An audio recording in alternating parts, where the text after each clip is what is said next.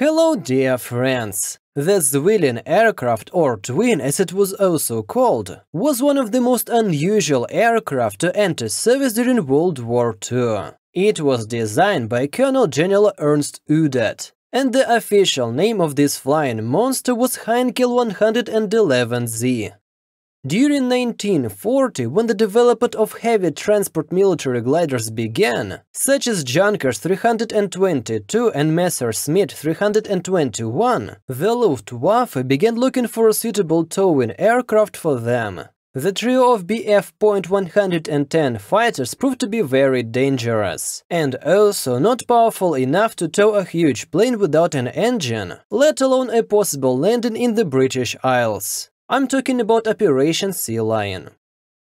Udet suggested that Heinkel create two He.111 twin aircraft capable of performing this task. Preliminary studies proved the practicality of this idea.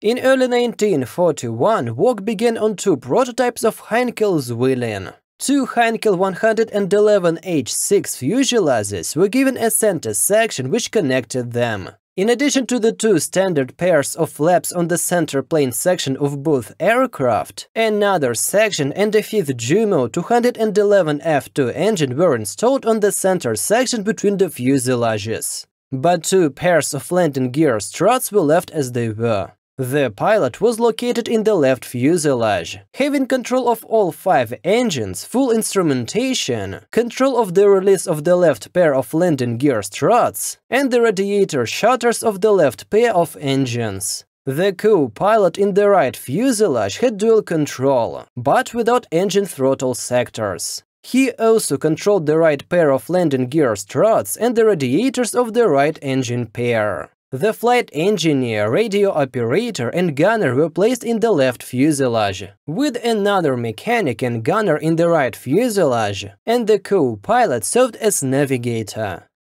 The total landing gear base was 10 meters and the maximum takeoff weight was 28 tons. The distance between the two fuselages of the Heinkel Zwilling was 12.8 meters. At the end of the autumn of 1941, the Heinkel 111Z V1 and V2 were successfully tested. The Heinkel 111Z looked very strange in the air, but its performance was even better than it needed to perform its missions. Three months after the first flight of the V1, both prototypes were delivered to the testing center, and Heinkel received an order for 10 more Zwillings. The first three of these, like the prototypes, were assembled from Heinkel 111H6, and the remaining ones from H16s. Eight additional machines were delivered before the end of spring 1942.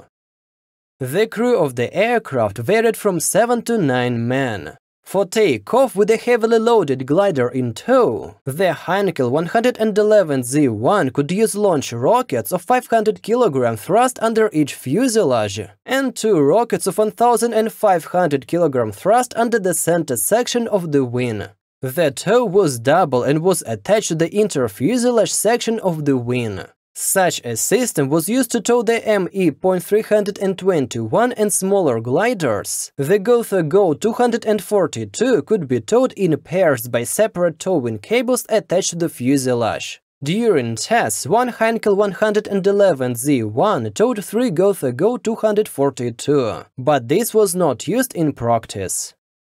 In service, the Heinkel 111Z1 proved to be an extremely reliable machine. Its career began in the summer of 1942 with preparations for Operation Hercules, or the planned landing on Malta. They had to deliver heavy weapons for paratroopers who landed from small gliders and with the help of parachutes. But Operation Hercules never took place. A few weeks after the cessation of preparations of the Malta landing, the Heinkel 111Z with Messerschmitt 321 were going to be used for another landing operation, already in Astrakhan, but it also failed due to the cessation of the Wehrmacht offensive. Another operation never came out of the planning stage. The landing on Baku, as the Wehrmacht did not seize the airfields from which they could reach the target.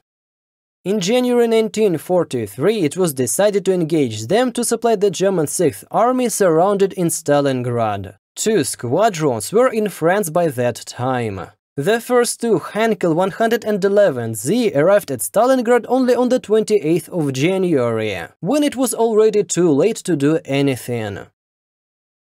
Later, they were sent to the Crimea. Here, at last, their first combat sorties took place. Over the next two months, they evacuated thousands of wounded. The Heinkel 111Z frequently took off carrying 30 wounded, and another 100 were in the towed Messerschmitt 321. The towing of two Gotha Go 242 gliders was also used here for the first time.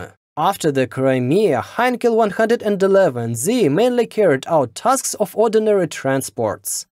In the autumn of 1944, their squadrons were disbanded. By this time, out of 12 Heinkel 111Z, only 4 had survived, and the rest were either shot down or destroyed on the ground.